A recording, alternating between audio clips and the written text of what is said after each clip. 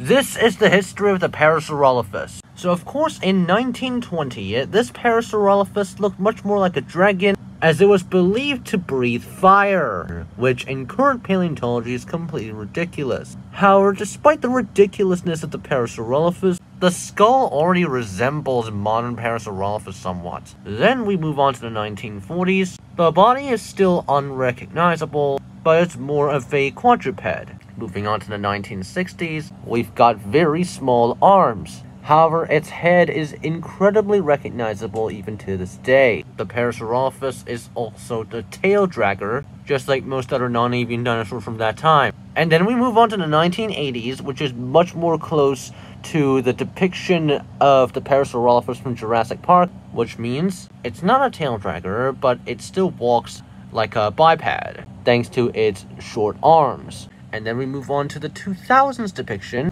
in which the Parasaurolophus has hooves, and a much more recognizable facultative biped build, thanks to its rigid tail as you can see here. And now we move on to the present day Parasaurolophus, which has a long, rigid tail, a very bulky body, a bunch of hooves, and of course, that duck bill. It is really cool to see the evolution of the Parasaurolophus from a fire-breathing dragon all the way to a majestic hadrosaur. What do you guys think of this evolution?